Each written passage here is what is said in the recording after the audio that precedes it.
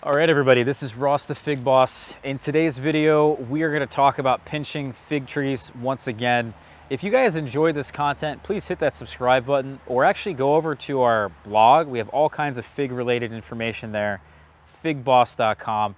Uh, I think you guys will really enjoy it. So today's video, as I said, is about pinching fig trees, but this one's gonna be quite different than any of the other pinching videos I've done in the past.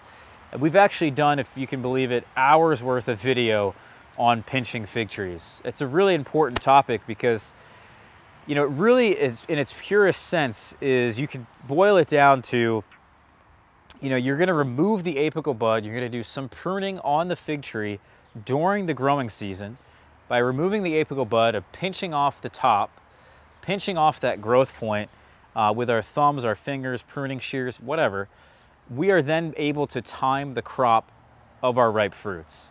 And by timing the crop of our fruits is a lot of what we talk about here on this channel because you know, if you can ripen your fruits at the warmest and the driest time of the year, you're going to have the best quality fruits and you're going to be thanking me. You're going to say, Ross, thank you for giving me the insight to then use this technique to actually ripen my fruits, let's say, out of monsoon season for people in southern Florida.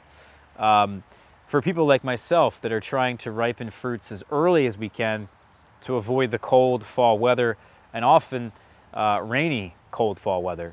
Uh, so we're trying to avoid the cold, we're trying to uh, avoid the rain. Other people, let's say in the United Kingdom or the Pacific Northwest, you guys might very much so benefit from doing some pinching to not necessarily ripen main crop, but actually to uh, help your Breba production. This video is really not going to cover the actual technique of performing pinching.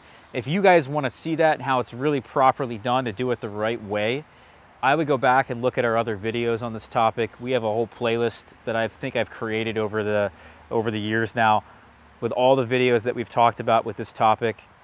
It's so, so important. I think it really has so many applications that it would be really uh, close-minded of somebody to say that, well, you know, it's just not a technique that we're gonna perform in my climate. It's only for people in shorter season climates. Because what we normally do is we put out this video every year around this time of the year. It's May 22nd. This is when we really start doing this technique here in my location. And by this time, a lot of people in southern climates, California, uh, warmer long season climates that really have had a much longer season, a much longer spring than I have, uh, already are seeing fruits on their trees and they're very skeptical of why someone would even need to do this at this point. But I'll tell you right now, uh, there's something called rivers pruning, which I'm going to cover with you guys, where it's mentioned actually in Pons's book. If you're interested, this is really the fig Bible. It's called Fig Trees of the Balearic Islands. Montserrat Pons in Spain is really the fig expert of all fig experts. And in his book, he has a section here, 6.2.3, called Rivers Pruning, which covers um, really pinching, it says here. This consists, this pruning consists of pinching one third of the immature terminal buds of the fruit-bearing shoots, thereby activating the growth and ripening of the autumn figs. It is done shortly before the beginning of summer. All right, so let's pretend we're in a climate with a very long season and this branch here actually has fruits on it. Maybe instead of having only six leaves or so, it's got about 10 or 12. And we have fruits all up and down the branch. We then decide we're gonna take off this apical bud. We're gonna break this off with our thumb.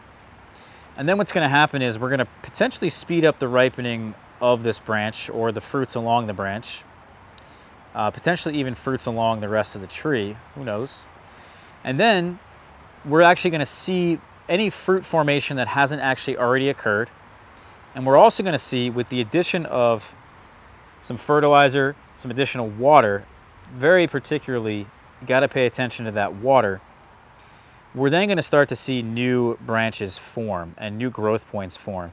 We may see about two or three, so this will probably leaf out here. The higher points on the tree will have maybe a new branch coming out this way, a new one going out this way, and then a new one going out there.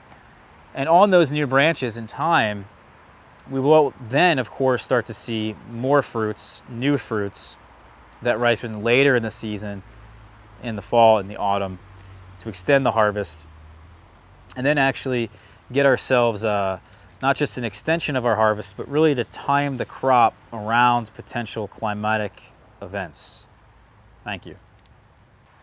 So if your normal fig season occurs, let's say between August and September, this technique of doing the pinching, let's say in mid-June, is going to time your crop to then ripen sometime in, let's say, October or November.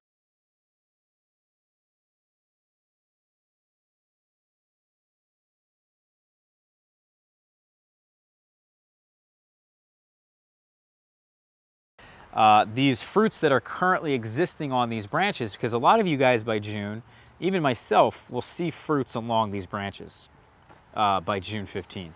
So those are going to ripen at you know sometime in the summer. But what we're going to actually benefit by is by resuming the growth on these trees after we pinch by giving it food and water, as I mentioned, and then that new growth is going to come out and produce more figs. So that second crop, you're going to get a second main crop of figs essentially that's then going to ripen later in the fall, in the autumn.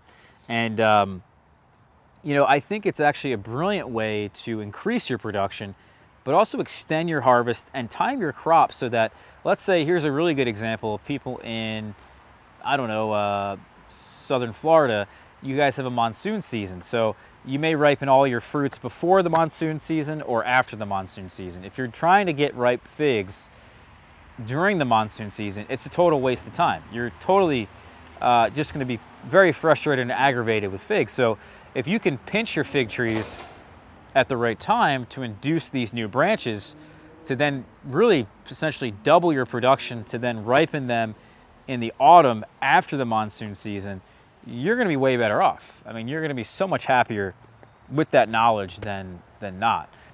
You know, depending on where you guys live, you're going to have to fiddle with that date. Maybe you want to pinch now. Maybe you want to pinch uh, mid-June. Figure out 90 days from that date. Um, I'm sorry, it's not going to be 90 days. It's going to be longer than 90 days because you have to wait for these new shoots to grow and then the, the fruits will form on those new shoots.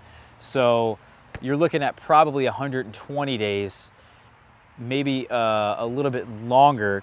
So June 1st, 120 days after that is July 1st, August 1st, September 1st. That puts you at October um, 15th. So as I said, you're then able to time your next crop to then ripen in, in October and November. I mean, October 15th is really when the first fruits are ripen, but actually you're gonna see a lot of them ripen throughout October and well into November because, you know, the average fig tree puts out per crop, you know, it's a 30 to 60 day window. Yeah, I mean, that's, that's I mean, so, so much money is, I just gave you guys, so much knowledge just from that one little tidbit. You got to hit the subscribe button at this point. I mean, what the heck, right?